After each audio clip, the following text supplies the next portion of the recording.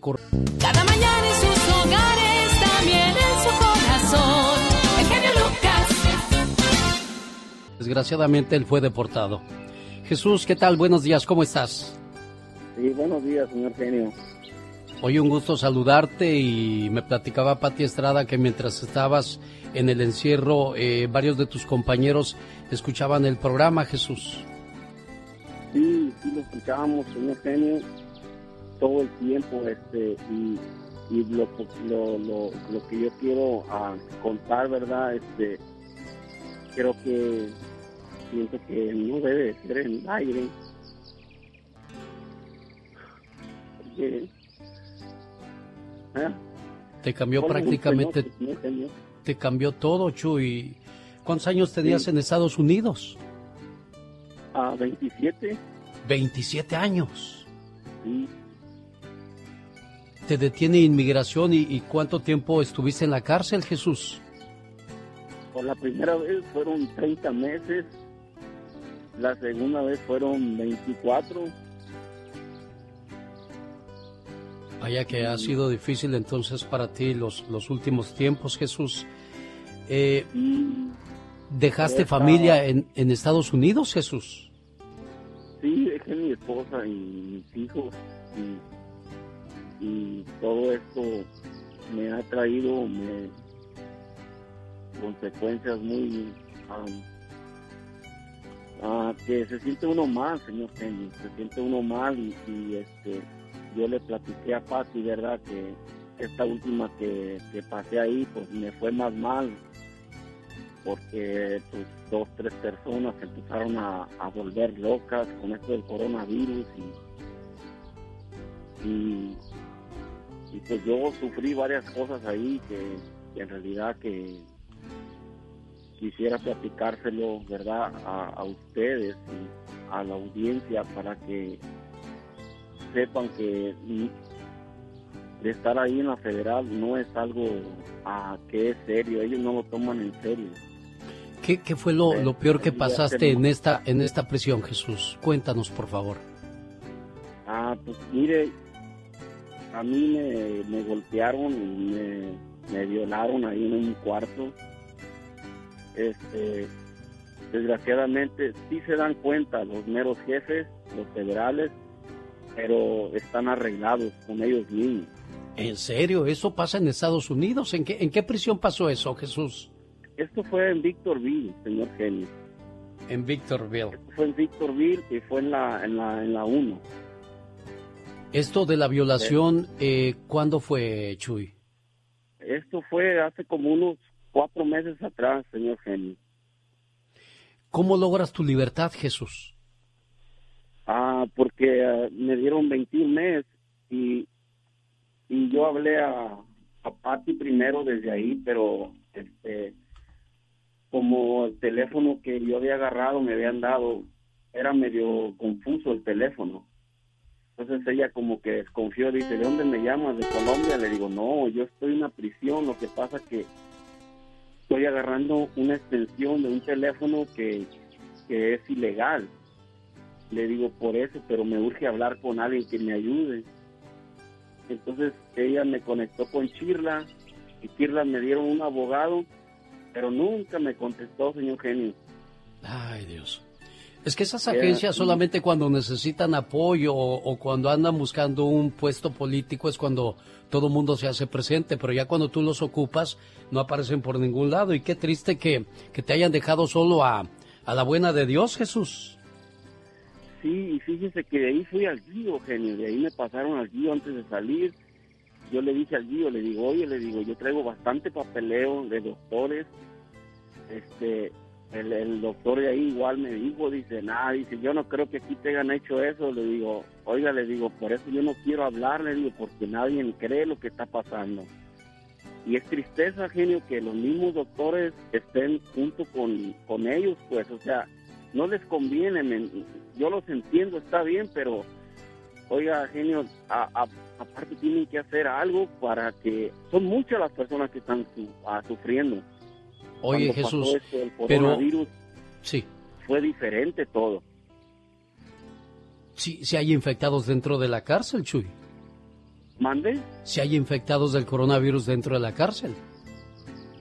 Y mire, yo me enteré de dos, tres casos, pero ellos los hacen nulos, oiga. Los llevan, yo, yo me enteré que se murió un señor gordito, un, era, parece que era de Inglaterra él. Sí. Oye, Jesús. y él ya no regresó, murió. Oye, y cuando abusan de ti hace cuatro meses, ¿no tenías amigos, alguien que te defendiera? ¿Qué pasó?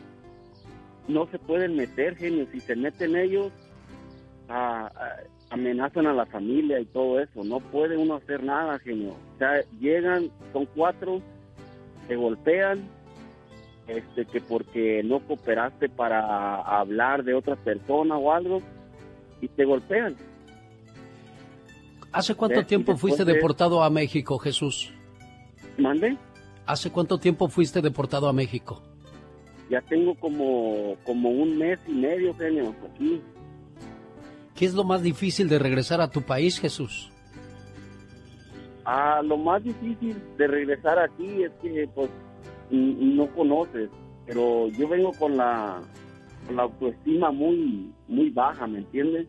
pero este yo le echo ganas, busco la forma de, vivir, ¿verdad? Y, yo cuando le conté a, mi, a mi pareja eso, este, en vez de apoyar como que se sintieron, ay, pues es que ya le pasó esto, este anda mal. Sí, o sea, te dejaron solo, Jesús. Sí, ahorita cuento con el apoyo de mi hijo, el más grande, ¿verdad? Cuento con el apoyo de él, pues, este, pero yo lo siento, me hace caso, pero lo siento como, como desconfiado. Piensan que les estoy mintiendo lo que estoy pasando, pero no, en realidad es la verdad. Y, y son varios los que han pasado por esto ahí, pero todos se quedan callados por miedo. Esto es en Victorville, California. Desgraciadamente son las situaciones que viven personas que han caído en, en esta prisión por cuestiones de inmigración. Jesús, ¿y por qué quedarte en Tijuana? ¿Por qué no te vas a Jalisco? ¿Tienes la esperanza de volver de este lado o qué pasa por tu mente, Jesús? Ah, mire, genio, es que yo lo que le conté a Pati, que yo tengo un caso que también desde el 2009, a mí ahí en el condado de Ventura, los cheris fueron por mí a la casa, me confundieron con otra persona entonces me golpearon y tuve como cinco meses encerrado. Desde ahí mi vida cambió y, yo siento que desde ahí me, mi mente ya no era igual. Entonces hasta ahora yo me doy cuenta, genio, que, yo calificaba para la visa U. Por eso hablé a Patti y me dijo que, ah, que si podía contar con los servicios del abogado Jorge Rivera. Sí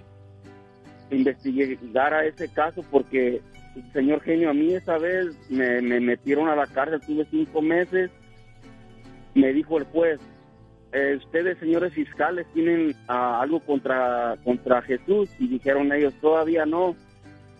Dijo el juez, ok, te voy a dejar en libertad Jesús, el viernes vuelves el lunes, pero si no regresas el lunes va a ser sobre tu, sobre tu sobre tu persona pero no me dejó libre, me, me llevaron para inmigración y me deportaron para que yo fuera culpable. Muy bien. Pero yo logré pasar, genio, pagué rápido, pagué como 11 mil dólares y crucé para atrás, rápido. El lunes yo me presento a corte y dice José Castañeda, y ya eh, digo presente. Entonces ya dice, dice, la fiscalía tiene algo contra él, dijeron ellos, como que se quedaron sorprendidos. Dice, hey, volvió a pasar, mira. No, señor juez, no tenemos nada contra él. Se enojaron. Y el señor juez me dio, dice, yo no entiendo por qué te arrestaron cinco meses si no tiene nada contra ti. Y eso quedó así. Entonces después dice, yo no te puedo decir qué es lo que puedes hacer, pero busca a alguien que te asesore, dice, porque eso que te hicieron no estuvo bien.